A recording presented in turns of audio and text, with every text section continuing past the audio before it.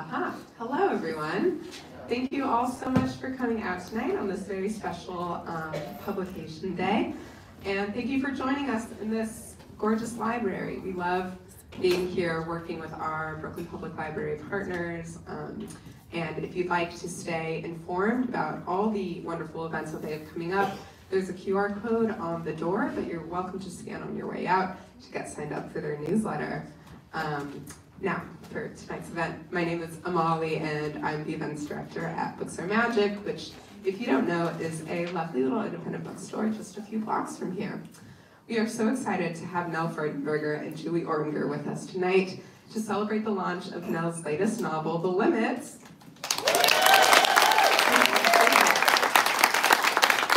Um, but before we get into all of that, I just have a few logistics to point out for how tonight, tonight's event is going to go.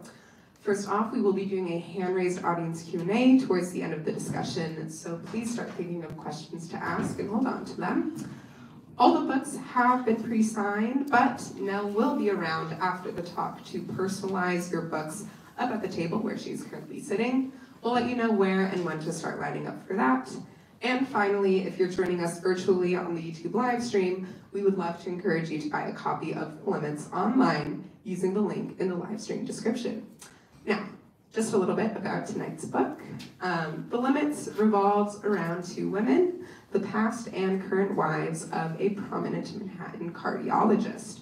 Weaving together the threads of these two women's very different lives, this novel touches on many themes, most prominently class divides amidst the COVID pandemic and climate crises, but also, as Julie wrote in her wonderful blurb, the idea of what happens when we reach our own limits, both in love and in life.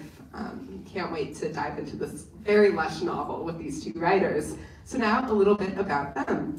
Nell Freudenberger is the author of the novels Lost and Wanted, The Newlyweds, and The Dissident, and of the short story collection Lucky Girls, which won the PEN/Malamud Award and the Sue Kaufman Prize for First Fiction from the American Academy of Arts and Letters.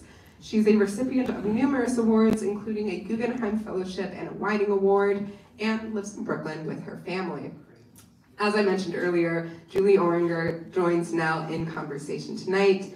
Julie is the author of three award-winning books, The Invisible Bridge, a New York Times bestselling novel, How to Breathe Underwater, a collection of stories, and The, the Flight Portfolio, which is uh, the inspiration for the Netflix series Transatlantic, which first aired in April 2023.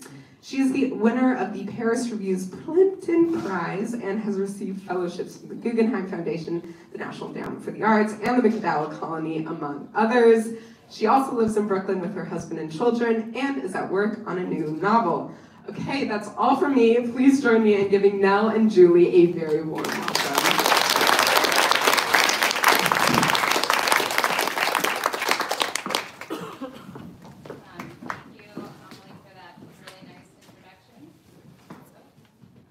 welcome. Um, I'm so grateful to Books Are Magic for sponsoring this event and also uh, to the Brooklyn Public Library, which I think is my favorite institution in the whole world. Um, I, uh, yeah, and that was a great description of the book. I um, never start a novel with a with a big idea. It's always a story that someone tells me. So in this case, it was a scientist who talked to me about uh, swimming out over a coral reef off of the island of Moorea, which is about a half an hour from Tahiti by ferry. And she said she got to the edge of the reef where it drops off to the deep ocean, and she was looking at just this limitless blue. Um, and she's an experienced diver, but she said that she felt a vertigo that was so strong that her dive buddy had to pull her back as if she'd been stepping off a cliff on land. And that was a picture that I couldn't get out of my head, and I knew that I wanted to write about um, a scientist like this woman. Um, but I didn't know where the book was going to go from there. And by the time I finished, I think I realized that it was a book about the natural world in the grip of climate change and how it um, put pressure on our most intimate relationships. Um, so the novel starts with Natalie, who's a scientist on Moorea studying deep water coral. Um, and she's just sent her 15 year old daughter, Pia, back to Manhattan to live with her father, who's a cardiologist. And because it's 2020, he's a cardiologist treating COVID patients. And he has a new younger wife named Kate. Um, Kate's a high school teacher at a Brooklyn City school, and she has a student named Athena who's trying to finish her senior year online while she's also taking care of her toddler nephew. So uh, the part I'm going to read, I'm going to read really briefly, five minutes, um, is a phone conversation between Natalie and her daughter Pia. Um, and if you have or know any teenagers, you know how hard it is to talk to them even when you're in the same room, much less uh, 6,000 miles away.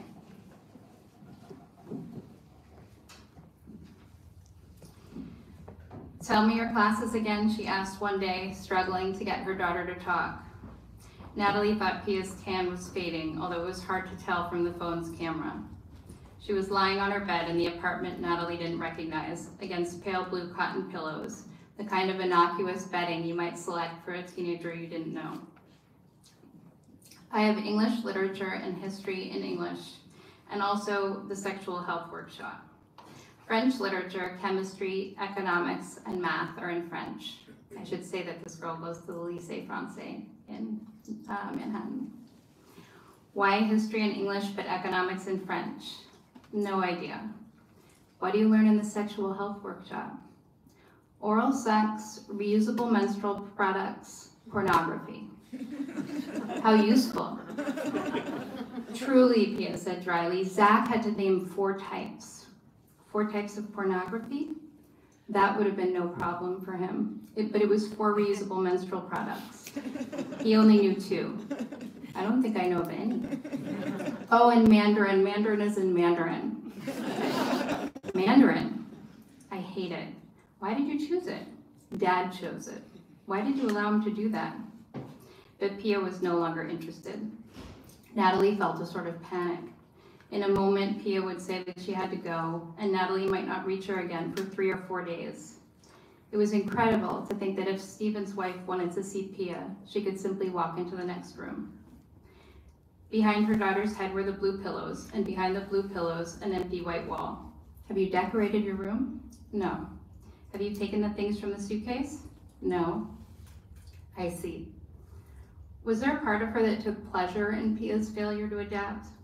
She decided that no, there wasn't. The research station wasn't the right place for Pia, nor was her sister's family, where she would be forced through the ruthless machine of the French school system. It wasn't so terrible to grow up a little before you decided how you wanted to live your life. That first year they'd spent together in Moorea, she was five. Stephen was able to join them twice for only a week each time, and so Natalie always felt unkind saying that it was the happiest period of her life that year when she finished her work, or as a break if she had to go back to the lab, she would ride her sim along the coast to the Montessori in Temae near the airport. She would wait outside the gate with the other parents for the children to finish singing their songs, Ah, les crocodiles, and Tourne Tourne Petit Moulin, but also some in Tahitian, including one about the crown of thorns starfish, the Corallivorous echinoderm, whose devastating effects she was studying at the time.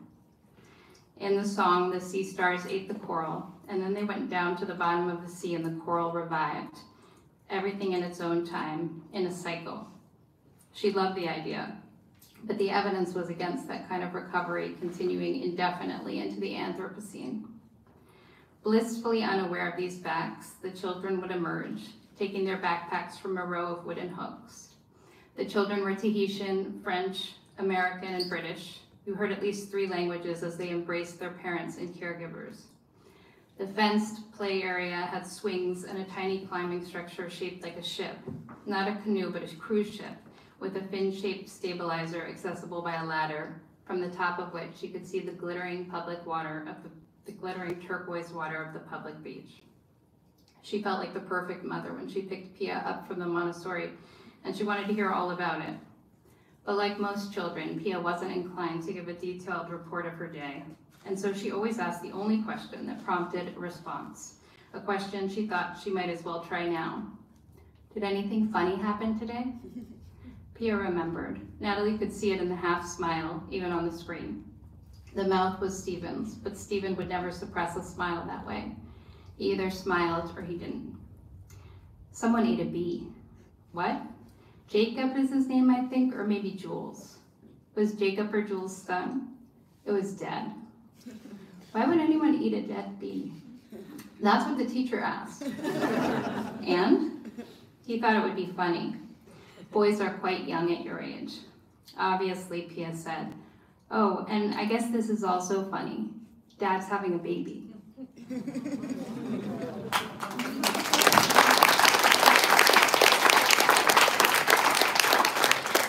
this happened to you when you did your first radio things, but did they ever talk to you about mouth noises? Oh, you mean like the plosive P? Yeah. I always get in trouble for mouth noises. Oh, your mouth noises were great. Okay. They were non-existent.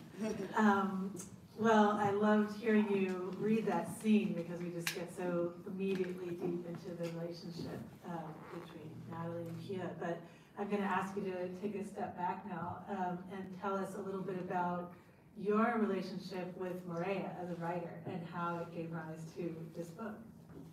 Um, yeah, it always starts with a person for me. Um, so it was Natalie, and uh, I knew that she had to be very far away. And I had become really interested in the deep ocean, and so I knew that was what she studied um, and the impact of climate change on coral.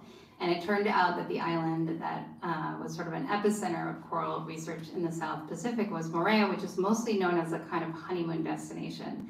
And so what I was picturing before I went was um, the beaches, the white sand beaches that you see with those overwater bungalows that are like the travel and leisure fantasy that you that go out into the lagoon, which really is that sort of green turquoise color. It looks like there's a filter. Um, but my impression of the island approaching it on the ferry was so different because from the water, it just looks, I maybe, maybe lots of you have been, but it just looks like a, a mountain rising out of the sea with no beach around it. And uh, the mountain seems as if it's it's been kind of covered in these like scraps of fabric, all different kinds of green, the most number of greens I've ever seen in one place, almost like velvet, and it just takes your breath away. Um, and uh, yeah, and I felt, I guess I felt like everything that I that happened when I was there changed my perspective as radically as the my first visual impression of the island. Um, I went there thinking that I wanted to write about, um, you know, just meet some scientists and see the lab and see what kind of, you know, hopefully one of them would um, cotton on to me and let me watch, you know, what they did all day, just kind of the boring stuff. But when I got there, um, it really seemed like the particular research experiments that they were doing were not the thing. And the most important thing that was happening on the island was um, this total reassessment of what European scientists were doing there. Because so many of the conservation methods that were um, working the best, that were the most powerful, were the indigenous methods that had been there since before European con contact. And so, you know, I was I was interested in that idea, but I was also really interested in the predicament of these um, European scientists who had, in a lot of cases, given up a lot to, to be in that place. You know, a lot of times they were living separated from spouses and children. Um, they, it's not a lucrative business. It's a beautiful place to be, but you're constantly struggling to get funding and grants if you're that sort of scientist. And uh, I think because I'm someone who's often um, done my strongest work when I'm far away from home, I thought, you know, what is it like to know that there's just one place you can do your work? You can't, uh, you know, you can't be in Philadelphia and study um, corallivorous echinoderms, right? You got you got to be there. Um, and and just to be reckoning kind of in the middle of your life with like, do I actually have a place here? Do I belong here at all?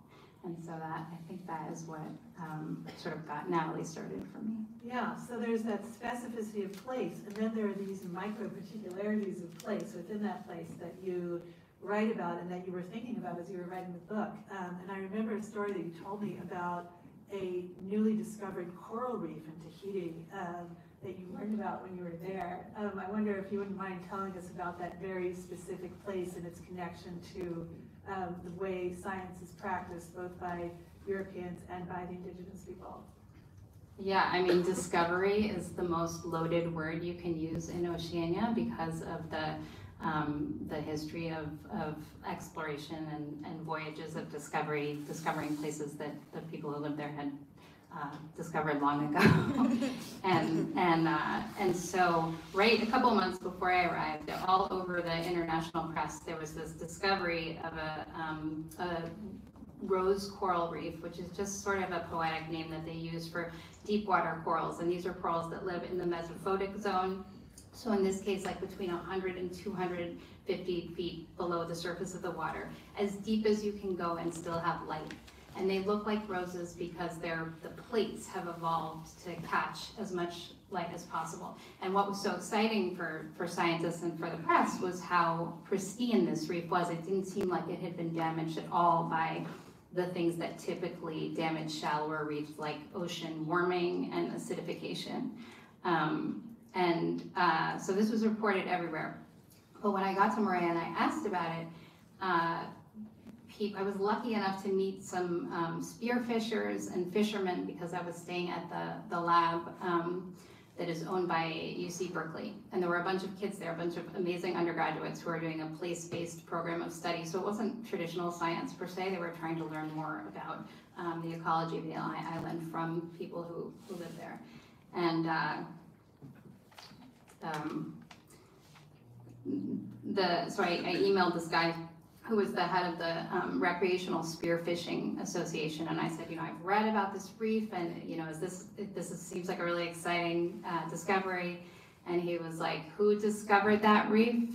Uh, it was our ancestors who discovered it, and they've been spearfishing there for hundreds of years. And if you think about what it means to be a spearfisher, I mean, these guys don't have any uh, dive gear, and they're going down and they're they're seeing something that's um, at its shallowest point 100 feet below the water. Um, I met one fisherman who said that his first pair of goggles he made himself out of the rubber from bicycle tires and the bottoms of two um, glass Coke bottles, and he, you know, MacGyvered them together and went diving down there uh, and you know and fishing um, so over that reef. incredible. Um, and because you are, you've always been, um, so intellectually curious and such a rigorous researcher, it wasn't enough for you just to hear about these stories um, of what was under the water and, and uh, what it looked like and how beautiful it was, but you actually learned to dive yourself, um, which felt like, as we were talking about at the time, completely necessary to the research for this book. But I wonder if you can tell us a little bit about what that was like, just to sort of feed my own envy. Well, you can come. We can we can do this together. I am a I in the sense of like loving to read dorky stuff. I'm a rigorous researcher, but I'm also a scaredy cat. So like the dawning realization that I, there were a lot of parts of this book I couldn't write unless I knew how to dive was like I kept thinking, well, maybe it's not necessary. Like a snorkel would probably be fine, but like I really did need to do it, and it was wonderful. Um, I was I was really nervous at first, but um, on the first dive I did for the training, I thought that what that scientist had described to me about the reef dropping off was something that only an advanced diver would see. And I guess if some of you dive, you know that this is pretty common. And on the first dive I went on, I, I had exactly that experience where I um, was going along the reef and then I saw that I could just, you know, swim out. And it does feel a little bit like you're gonna fall. I mean, your, your brain is telling you that that's not possible, but um, that's the way it feels. And I was so, I expected to be excited about the fish, and the fish were, were beautiful, but the thing that really got me were these sponges. There were sponges that looked like, um, like a vase, like a vase that's maybe like six feet tall, sitting on the, on the surface of the, the reef, and they were bright yellow or bright purple. Um, and they, I don't know what, they were really moving to me. I know this sound like the weirdest thing, but I felt kind of like I was tearing up a little bit. And I think it was this idea that they were kind of like aliens, like it was sort of like meeting a life form that was just as different as possible um, from us. Um, and after that, just reading about the kinds of sponges that exist in the deep ocean, I learned that um, the oldest organism in the world that's ever been discovered is a deep water sponge, and they can be up to 11,000 years old. So in the deep ocean, there are coral that are, um, you know, that were alive at the time of the pharaohs, and there are these sponges that are from the last ice age. And these, yeah, these organisms are so precious because they're, um, you know, it, it, it is like another planet down there. And we've, it's been, it's inaccessibility, like the pressure, the darkness, and the cold, has, it's made it the one place on Earth that's still protected. So they say that the diversity, the biodiversity down there is comparable to an Amazon rainforest, and that's like an Amazon rainforest that we've never touched. Which is not to say that we won't touch it at some point. Um, and that's one of the ecological threats that the book hints at. Um, and maybe we can talk a little bit about that. Um, I want you to tell us a bit about deep sea mining and how it figures into the book, um, and how it poses a threat to the kind of, you know, unbelievably beautiful and alien-seeming organisms you're describing. Um, yeah, I've talked about this for a long time and I don't want to be boring, but, um, so this wasn't something I knew about before I started doing the research for the book. But in, on the abyssal plains, I love the names for the deep ocean. There are like Hadal trenches that are named after Hades and there are these abyssal plains. Um, there are these things, um, called polymetallic nodules and they look like potatoes. And they're full of the, exactly the metals and minerals that we need for um, cell phones and electric vehicle batteries, cobalt, copper, manganese, rare earths. Um, and so naturally, there are these companies, um, they have amazing names. There's one in Canada that until recently was called Deep Green. Uh, and they've recently changed it to the Metals Company because maybe that was too hypocritical even for a mining company. But the idea is that they're going to take these huge machines and go down there and scoop up the polymetallic nodules. Um, but that means, of course, that everything else would get scooped up with it. And they say, the scientists say that every time they take a submersible down into the deep ocean, they find new species. There was recently a mission off the coast of Chile um, to an underwater mountain that is four times as tall as the tallest building in the world. Uh, and um, they say that they think that they've identified 100 new species from that um, from that mission alone. Yeah, I was reading about these composite organisms that are, that are like these colonies of different organisms, none of which could survive on their own, but that they sort of group together into a sort of like shaggy star-looking organism, co-organism that survives by just sort of ooching around together, you know? Well, and even if, like, so there's some, there's some officials in the International Seabed Authority, which is the body that's responsible for giving licenses to these fledgling mining companies. And there's, I've heard, I heard one guy say, you know, it's all these scientists and they've studied one little worm for their whole life and now they wanna, you know, protect it, but we really need these metals. But of course, there are a whole bunch of, uh, well, first of all, battery technology is evolving so fast that there's no guarantee that these are actually the metals that we're gonna need. Um, but there, and there's tons of other options, like urban mining, where you go to everyone's basement and get those like seven laptops that you don't know what you're gonna do with and recycle those. Um, but, uh, you know, there's also, there's also the disruption that happened. It's so cold down there and it's so quiet and there's so much pressure that um, exploratory missions that are 20 years old, you can still see the tracks of the vehicles in the sand. Nothing changes, it's just static. So anything that happens down there is kind of permanent, right? So it just, it seems like this moment when, um, this moment when, you know, we have a chance to, to save this kind of magical place that's, that hasn't been touched. And so I think, you know, it's like, it- when I, when I went there, I thought, you know, the thing that my angry young man in the novel, whose name is Rafi, who's a Tahitian, uh, who, man, who, young man who works for the scientists at the lab, um, but has sort of his own ideas about what is happening there. Um, I first thought that he was someone who would be interested in independence. It was sort of like an anti-colonial feeling. Um, because when I went to the island, I really thought I'm going to a post-colonial society. Um, and in fact, you know, I went, I was going to a colony. It's still, French Polynesia is still very much a part of France. And there's a lot of anger about that. But the issue that was much more prevalent than independence was, was this, the idea that uh, once again, Westerners were gonna come in and take, um, something that was precious.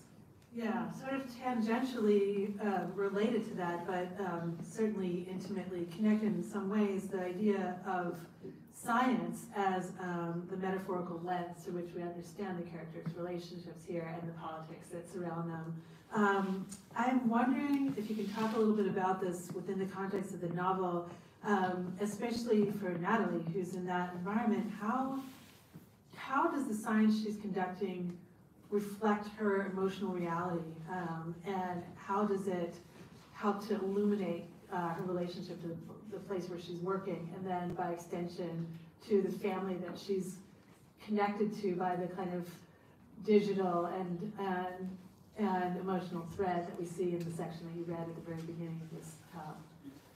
Yeah, I, um, you know, the, in the last novel, I, I was kind of resisting the ideas of science as metaphor, and, um, and that was true of the, the main character of that book. She was a physicist, and she hated the way that, um, physics was used in the popular imagination, this idea that like, because Heisenberg came up with an uncertainty principle, like, everything's crazy and you can never count on anything, you know? She didn't like science being used in that way. But I found the physics just totally irresistible metaphorically, and it did end up working that way in the book. And I thought biology might be like that in in this book, but it really um, the the when I got there, it was it was much more this kind of this sort of um, paradoxical feeling that people had about um, you know kind of wanting independence, but knowing that that separating from France would be financially um, devastating for the islands. Um, and the, the anger um, was apparent, especially in young men I talked to. I had I met this um, lovely man who runs a tourism business um, in Moorea, and he took me out for coffee in a uh, kind of French pastry, outdoor French pastry shop, and he kind of leaned in and he said, "Look around at these people. They're civil servants and they're teachers." And these are, you know, people from mainland France, and he said they're they're paid three times what we're paid for the same jobs, and they don't pay taxes here. Um, so it was it, it was that sort of. Um, he he loved to swim, and every morning he would go out to the lagoon to take a swim, and it was really like one of the ways he connected to his um, home. And he, he said, you know, the scientists are my friends, like I really like a lot of these people. But he said, sometimes I find discarded scientific equipment when I'm swimming in the morning, and it makes me crazy. You know, I can't believe that they can't remove what they've used once, once they're finished. So, was, you know, there were a couple, um, yeah, there were a couple young people I talked to like that, and that really um, kind of got me started with Raffi and how he would think about um, all of it. Yeah, well, those kinds of, um, those kinds of social tensions that express themselves both on the larger scale and intimately are um, present both in the Moorea setting of the book and in New York, um, in the novel. And I wonder if you can talk now a little bit about the New York-based characters. Um, Stephen, a cardiologist, is privileged, intelligent, a super hard worker. Um, he hasn't faced many times when he's out of control. But the novel is set during the pandemic at a time when um, his experience has become completely different and he's, he's facing a total loss of control in his work. Um, and at the same time, uh, his new wife is pregnant. Um, and I would love for you to um, illuminate a little bit about your, um, your research into uh, what was happening for medical workers during the pandemic, um, that, that kind of very particular and fraught pocket of New York life during that time. Um, okay, well, I won't embarrass her too much, but my main research research source for um, COVID medicine is sitting over there, she hates to be called heroic, so I won't I won't do it, although I don't know another word for it. Um, but she was working at a hospital that was uh, much less well funded than the one where Stephen works. There was a real problem with getting enough PPE. And um, she told me a story about coming home one day and her husband asking her how, you know, how did it go today? And she said, I did one useful thing, and it was finding a phone charger for a patient who uh, really wanted to FaceTime with his family. Um, and she was an infectious disease doctor, you know, not, not a cardiologist who had been shunted into this kind of care. Um, so that, um, Stephen, yeah, Stephen to me was someone who, um, not a bad guy, but just someone who had, no, nothing had really been hard for him um, until this, and he's really thrown by it. And it, um, because he's so worried about passing germs to his wife at the very beginning of the pandemic, who is pregnant, he starts kind of shutting down with her a little bit emotionally. He doesn't tell her about some of the stuff that he's seeing in the hospital because he sort of feels like if he doesn't talk to her about it, there'll be a place where it's not happening. Um, but but he needs to talk to someone, so he starts emailing his ex-wife. And I um, I don't know, you know, it's, it wasn't something that I necessarily heard from anyone, but um, sometimes these connections with people that you weren't in touch with got stronger during that time, or maybe you you know, became closer to someone because you ended up quarantining with them or in a pod with them. So I was sort of getting at that. I also really love writing letters, and I think the like epistolary novel is obviously like a a tricky form these days that we, like young people don't remember what letters even are.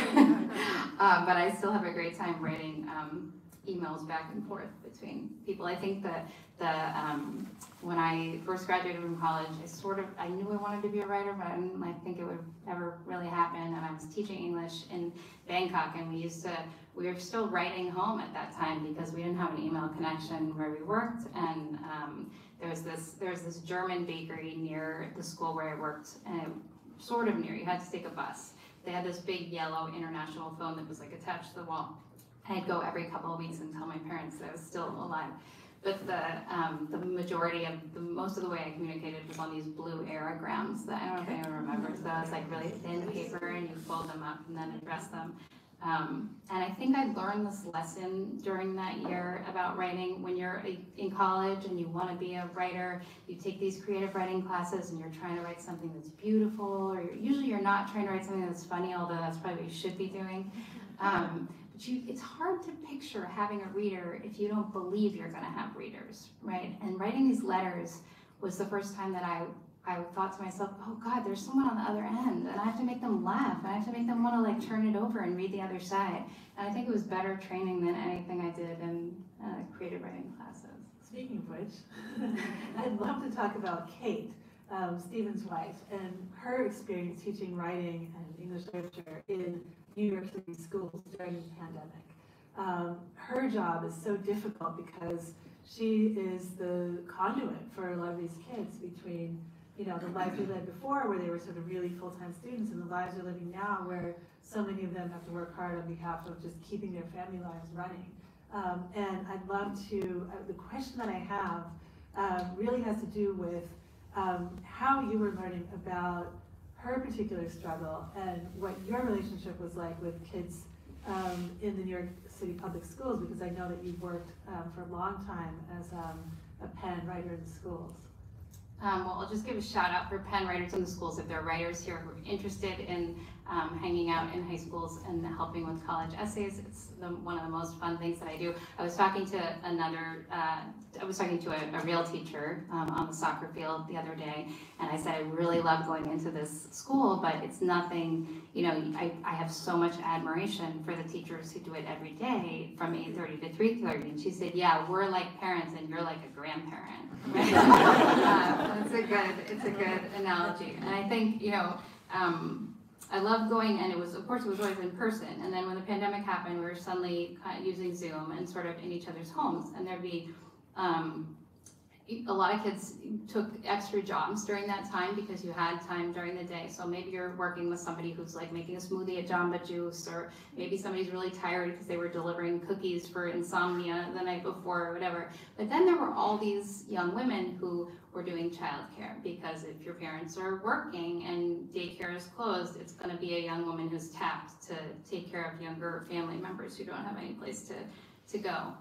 And um, I had, I became, well, I was, I was thinking of one young woman who had her camera off, and sometimes I would sort of gently ask if they were comfortable turning their cameras on, because you haven't seen these students ever. Um, and it'd just be nice to kind of like put a, a face with a voice. And she said, oh, I would, but my hands are so soapy because I'm giving the baby a bath. I was like, oh my God, you know, like if, if bathed bathed an infant, an infant is the slipperiest thing, you know, on earth. There's nothing more slippery, right? And to try to like dictate a college essay while you're doing that is really impressive. Um, and then I worked with another student who really impressed me. Her nephew was um, was often in the frame, and she was doing a lot of caregiving for him. And he always wore a Spider-Man suit. Uh, and one day, she the Spider-Man suit was half on, and I watched her while she was talking to me without looking, just undo the pull-up. You know, there those pull-ups that like you can tear off on the side, quickly take it off without taking off the suit and put on another one. And I was like, that is something I did not learn to do until I was in my early 30s. And I have to say that the care that I watched young people give was not just the basics. It was like creative game playing and there was so much love. And I just was amazed that on top of all the other stresses, I was watching young women do this and I wanted to um, try to like honor that in the book. Well, in addition to writing so incredibly subtly and beautifully about that, um, and with so much personal knowledge, um, I also love the fact that instead of just writing about teenagers, you're also writing from the point of view of a teenager in this novel, of teenagers in this novel. And I really would love to, um, to hear you just tell us a little bit about how that came to be, because I know that wasn't your plan when you started the book. Um, yeah, I'm, I'm grateful that my teenager is at soccer practice, so she can't correct me on any of this. Um, but yeah, I had this teenager, this other teenager, there are two of them in the book. Athena is the one who's taking care of her nephew, and then Pia is the one who's just come from the South Pacific to Manhattan. And I thought, you know, Pia didn't interest me as much at the beginning, and I wasn't sure she was going to tell any part of the story. And then um, once I went to Moorea, I and I learned a little bit about the history of nuclear testing in that area. Um, I felt like that was it was still so it was still such a force in uh, Tahiti and the surrounding islands. Um, I didn't know that France had tested nuclear weapons in uh, French Polynesia until the late 90s, until I believe 1996. Um, that fact kind of knocked me sideways when I learned and that I really knew very little about um, American nuclear testing in the Marshall Islands. And so with Pia, I had made this, you know, this angry teenager. She's got a lot of free-floating anger. She doesn't have too much to be angry about. She's not a lot is being asked of her. She's just meant to do her schoolwork. She has this nice apartment to live in. But her dad is pretty absent. He's always at the hospital. And her mom is 6,000 miles away, and she's not crazy about her stepmom. And uh, and so she, some of her anger gets kind of shunted into this like research that she's doing, which is really just looking around on Wikipedia. And she, she makes lists. She, she writes in her journal, but she doesn't write a, a narrative. Sometimes she writes dialogue. She's kind of a budding actress, and so she likes to write about conversations that she's had as if they're um, a script. And then sometimes she writes in the language of kind of text messages, and then sometimes she just copies this stuff that she's learning. And she has you know, crush on this this guy Raffi who helps her mother at the lab. She's really pissed about leaving Moorea because she's in love, and um, he's much older than she is and totally inappropriate, and that makes her cra- even more crazy about him. um, and so she starts, you know, cataloging these nuclear tests, and it was a it was a way for me to kind of have that information in the book, and also to get at the sort of um, powerlessness you feel when you see, uh, you know, 20 tests in, in five years that you've never learned about. Pia, Pia talks about um, SpongeBob, SpongeBob SquarePants and little kids laughing at SpongeBob SquarePants. But um, SpongeBob lives, you might know, in Bikini Bottom, which is the island of Bikini where the some of the first tests took place. And some of the characters wear hazmat suits. And there's nothing living there. It's all it's all dead. Um, and you know, you can watch a lot of SpongeBob without thinking about where that idea came from. So Pia's journal was a place to put all of these kind of disparate things and see how they like reacted with each other. I love that. Um, and I have so many more questions for you, but I know I'm not the only one. So now um, I'm going to turn it over to you. Um, and uh, if you would raise your hand, um, I think we're going to come around with a microphone um, and mic your questions. Um, so this is your opportunity to ask Nell a question about this beautiful book.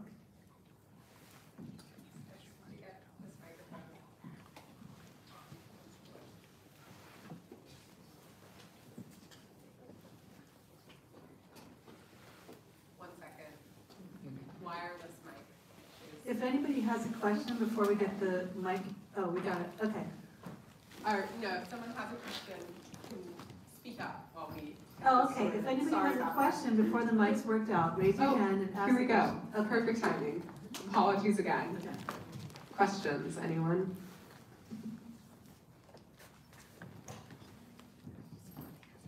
There's gotta be at least one.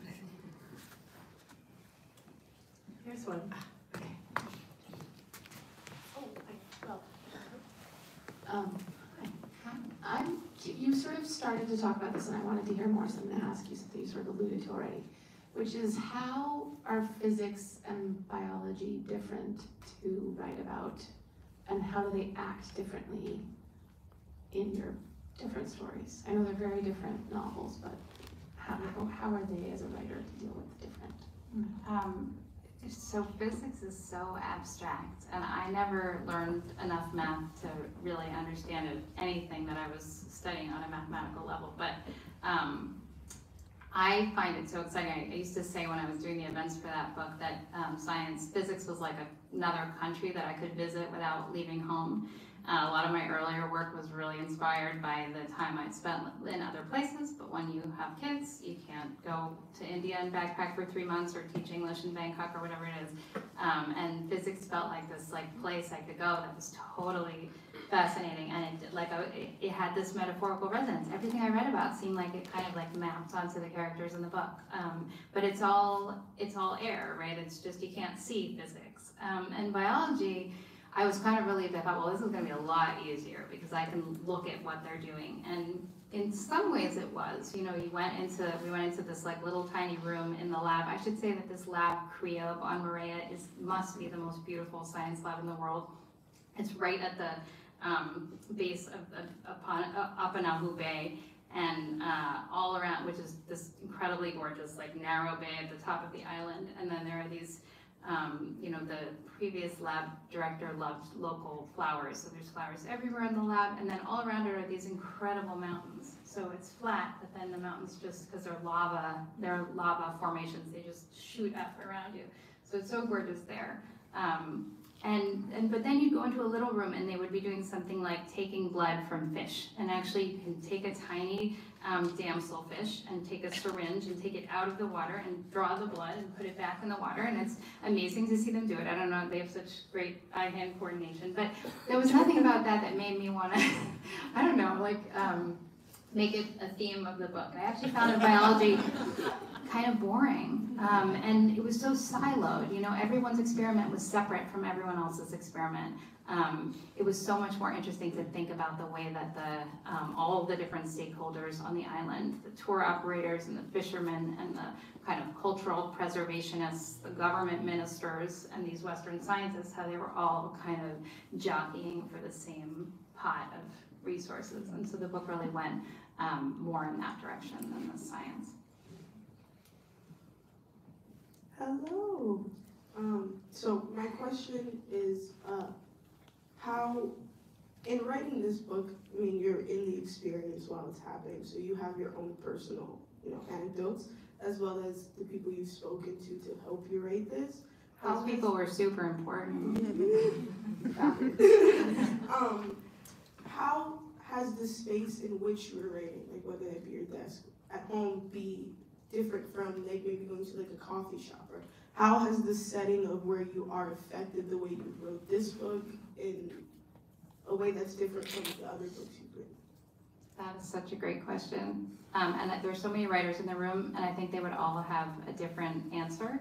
Um, for me, I really like to be somewhere quiet and private. I like to wear like not clothes that I would go out in in public, and I like to sit like in weird ways with my knees up and stuff. I don't in a coffee shop. I'm too self-conscious. I feel like you know I'm noticing who's walking in. I feel like maybe somebody's looking over at me. Maybe I've taken too much space, or I'm not supposed to sit there with my laptop or whatever it is. I, it doesn't matter what space it is for me, but I like to be alone. I guess while I'm writing, and that's been true for all the books. Um, but the places where I've gone that have um, inspired the books have have kind of stayed with me. One of the things that um, makes it easier, I think, for me to write about something that takes place somewhere else, and it doesn't have to be Moorea, it could be, you know, Los Angeles or, or Philadelphia or whatever, whatever, but it's that when you go somewhere for a certain amount of time, your experience is limited.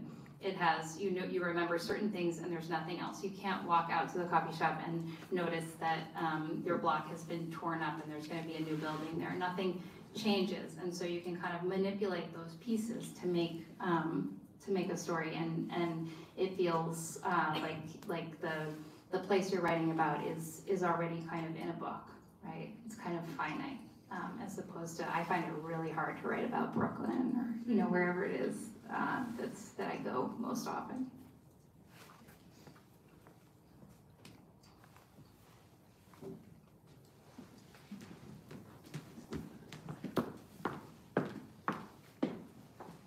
Um, hi, first I just wanted to say how much I enjoyed this. It was just ultra sensory. I felt like I was going all these different places and thank you so I'm really excited to, um, to, to read this. So one of the questions I had, I'll just be frank, I am a classics scholar and I have this thing where I always say kind of in this really pretentious way, when people ask what books I like, I say, uh, you know, Aeschylus and Ovid, people like that. I don't, you know, contemporary to me is the Enlightenment. Um, One of those, one of those people who was most helpful to me is an anthropologist at the University of Hawaii, and he has the same, he's an anthropologist, but he has the same reading taste that you have, and he's, you know, he's like, well, I'm learning um, classical Greek, so I can reread the Iliad, and I was like, well, I just read Demon Copperhead, and it was and I mean, part of the reason that's intensified in the last several years is I just don't want to know about anything going on.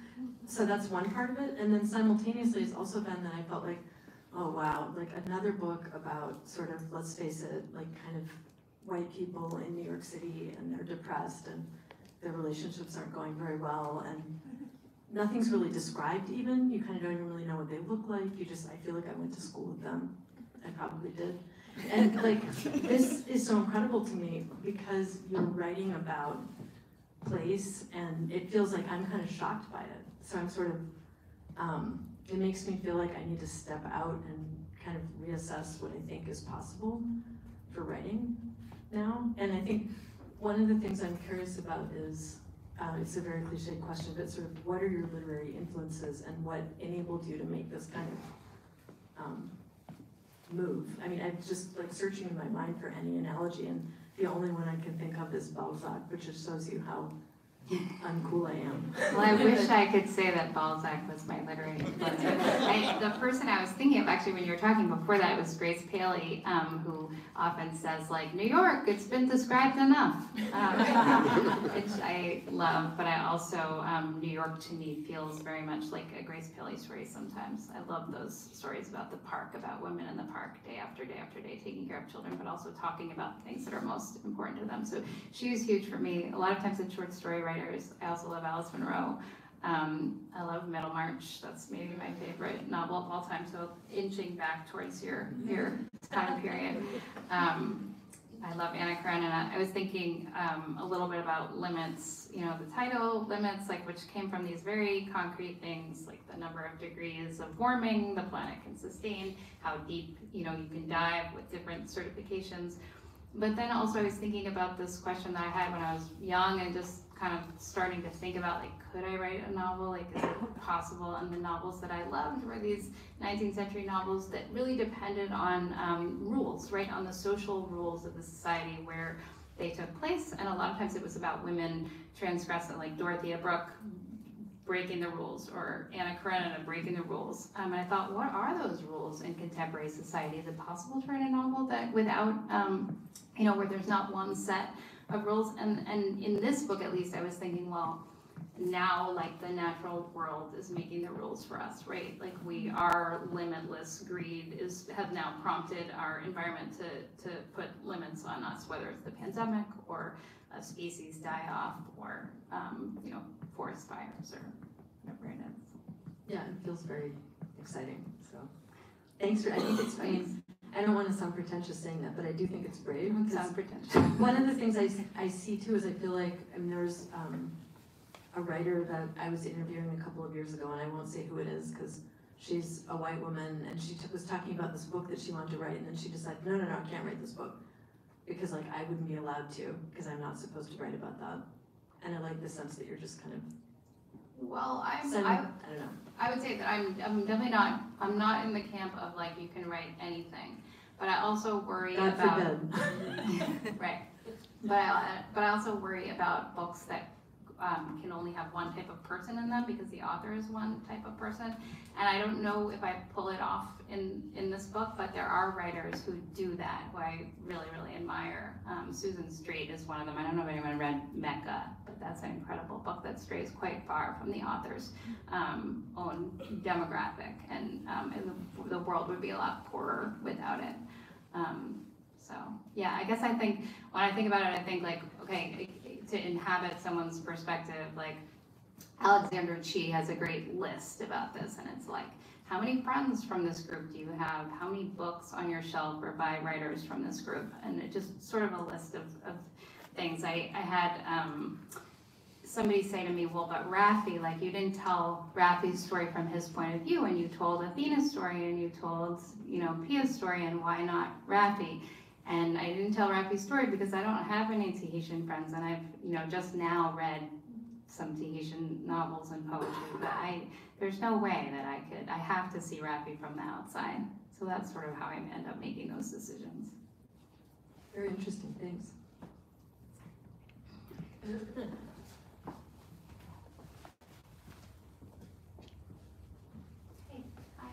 Um, so my question is, it sounds like the research is so important to your dramatic decisions in the novel, and I guess I'm wondering, while you're writing, how much are you writing the fiction and then researching as you go versus researching and then planning the fiction in your head or writing notes? Or is it kind of like feeding, the whole process is feeding the process? Yeah, that, I think about that all the time. Um, for, if I were writing a piece, when I'm writing a piece of nonfiction, which is not that often, um, I feel like I need to do all the research first. I need, if it's a reported piece, I need to do all the interviews, and then I need to make an outline, just like writing an academic paper. Um, but with fiction, it's much more like, um, learning something, like I feel like I have to be learning something that's related to the subject of the book. Partly because it just keeps me excited about the writing, but also because it gives me confidence. So, um, you know, a lot of the, most of the science that I learned for the last book or this book doesn't make it into the book, but just knowing it makes me feel like I can write as scientist. It's a way of kind of like allaying the anxiety that comes with writing. And I do it all the way through. I mean, I'm, I'm still reading about deep sea mining because I'm just interested, but it, um, it definitely feeds the work, but it's not a question of like, I need this fact or that fact. I sometimes feel that there's almost like a magic thing that happens though, where you um, find the right thing when you need it, and it that must just be your brain doing the organizing, right? Um, finding things that it needs and, and, and figuring out what belongs and what doesn't. We have time for a couple more, in the back. Hi. Um, so my question kind of follows on the previous one, which is, do you think you'll maintain a relationship with the people that you met and in terms of conservation efforts there, you know, continuing to keep an eye on that, that whole world and the news associated with it? I hope so. I mean, there, it really depends on the people though. Like I'm going to um, Cambridge tomorrow and I'm gonna have, uh, I'm gonna meet the, a physicist from MIT who I became close to writing the last book. I know we'll stay in touch. We just had like a very lively email co- correspondence. And there's one scientist on Moorea. She's so busy and really it's harder to keep up with her because of, you know, the time difference and WhatsApp. But I think we'll stay in touch. We really connected over, we actually kind of connected over having teenagers right now and anxiety even more than we did over the science. Um, she's amazing. So I hope that she'll be like my conduit to the, um, to that place. Uh, it kind of, it depends on those personal connections. Julie and I talk about this all the time because there's so much anxiety when you go on a research trip. My first, I went to Moorea twice while I was working on the book, and the first time was to write this article for Nautilus magazine. Um, it's really hard to convince magazine editors that you're justified in your request to go to Tahiti, and it took me, it took me about a year to sell this piece, and I'm so grateful to Nautilus. If you don't know it, it's a, it's a general interest science magazine, and it's wonderful. Uh, it's kind of like a scientific literary magazine. Um, I was so grateful to them for, for sending me. Um, uh, so, um, yeah, I, I think that, I think that, that I'll keep in touch with the people that I made those kinds of like personal relationships with, but it's, it's, um, when you only have eight days, which is about the amount of time that like a parent can take to go away. Um, it's, Julie said, before I left, I was super nervous about just packing in all the interviews. I was like, I've talked to this person and this person, and they're so, you know, time doesn't work the same way there. People don't keep appointments the way they do in New York. I'm worried I'm not gonna get what I need. And Julie was like, all you need are the email addresses and phone numbers, because, because you have to make the relationships, and then, um, from that, the rest of the research comes, and that was completely true. You know, I saw the place, and then after that, it was these kind of conversations that technology makes possible that last through the writing of the book, and then hopefully, if you're lucky, they, they last longer. We have time for one more? Yes, exactly. One more question, if there is one.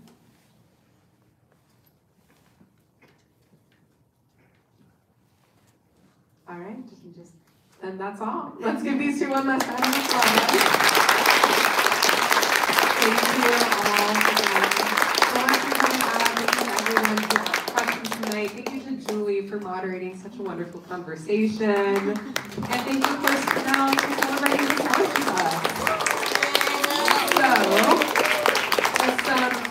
reminders before we wrap up. If you haven't gotten a copy of the book yet, we have plenty of additional copies available for purchase at the table where you checked in. Again, all of the copies of The Limits have been pre-signed, but now we'll be around to personalize your books right up here.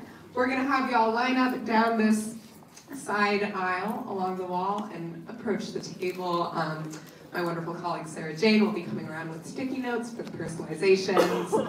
And again, if you haven't gotten a copy, please come see us at that table. We also have some copies of Nell's most recent or previous novel, Lost and Wanted, and Julie's most recent novel, uh, The Flight Portfolio. So definitely check those out as well. That's all. Let's give these two one last round of applause. Thank you all again for joining us tonight.